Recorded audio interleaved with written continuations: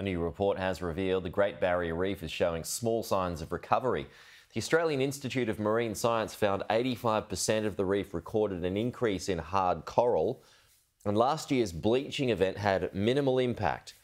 The long term monitoring program also found the lack of severe weather events in the past year has allowed coral recovery in all three regions of the reef. The report will be presented to the UNESCO World Heritage Committee as it meets this week to decide if the natural wonder should be formally declared as being in danger.